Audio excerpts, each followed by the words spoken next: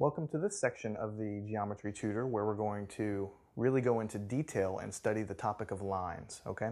Uh, we've already talked about the basic concept of a line in the previous sections, and that's just, you know, something that goes on and on in two directions, okay? It goes in that direction, goes in that direction, forever and ever, and we call that a line. And uh, a line has one dimension because it can only can be constrained to move back and forth in one direction, so we say it has one dimension, okay? Now in this section, we're going to expand on that and we're going to dive into some of the core areas of geometry where we talk about uh, uh, when lines intersect each other. Okay, we're going to talk about what that means. We're going to talk about parallel lines, perpendicular lines, and we're going to start to introduce some of the drawings dealing with lines that you're going to see over and over and over in your books, okay? So that when you look at them, you won't be uh, taken aback, you won't be surprised. You'll see it here and you'll understand what to, what to, uh, uh, what to do with that drawing, okay?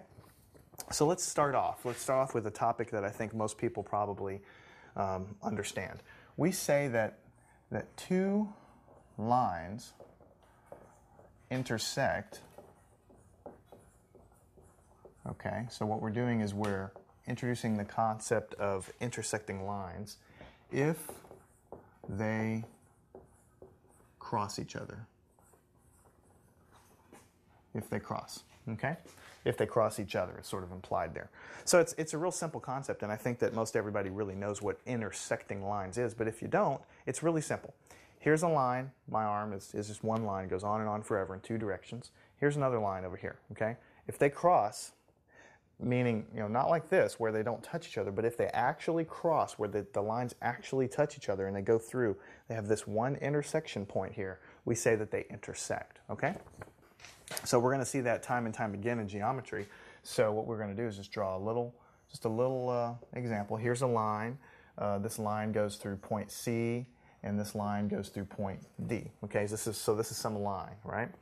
And uh, we see we have another line that goes up like this, and this line goes through point A, and this line goes through point B.